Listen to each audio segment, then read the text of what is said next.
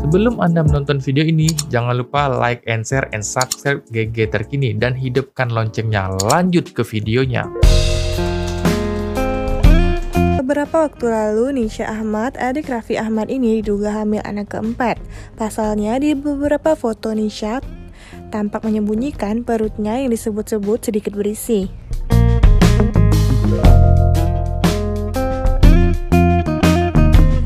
Namun, ia pun membantah dengan foto-foto yang ia unggah.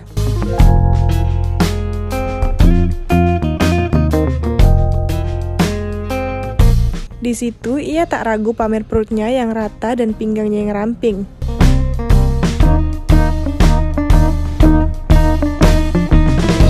Seperti apa sih potret Nisha Ahmad yang makin langsing?